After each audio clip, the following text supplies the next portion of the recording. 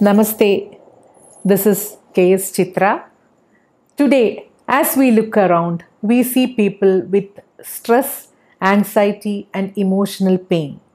The sufferings of individuals creeps into their families, the society they live, leading to conflicts between them. Ekam World Peace Festival gives us all an opportunity to create a beautiful state of peace within us.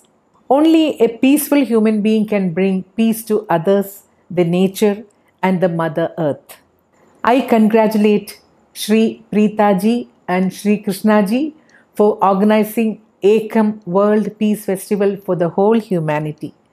With pleasure, I join hands with Sri Preethaji and Sri Krishnaji on this auspicious occasion of creating world peace.